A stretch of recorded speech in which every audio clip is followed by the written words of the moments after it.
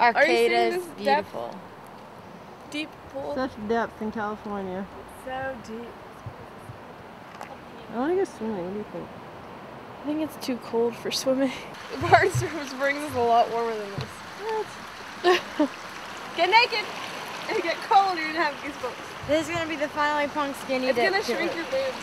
Dude, we made Stephanie get so wild today. What? I said we made you get so wild today. I'm cold. I'm so excited that we all came together as a band and got naked and got in that water. Rated ourselves in skinny I dip. burned my bra in the water.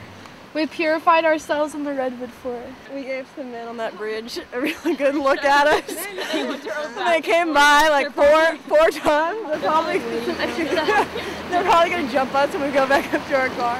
Oh, it's like filming way over there. I think we were all wrong.